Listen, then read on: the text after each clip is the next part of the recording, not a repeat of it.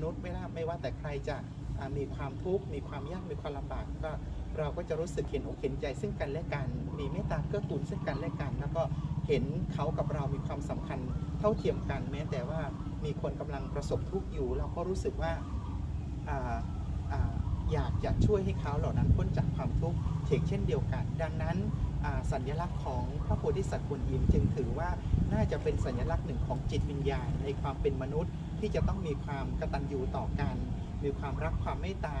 นะคะความกรุณาจิตต่อกันนะคะดังนั้นเครื่องคุณธรรมสองอย่างคือความเมตตากับการุณานี้ น่าจะเป็น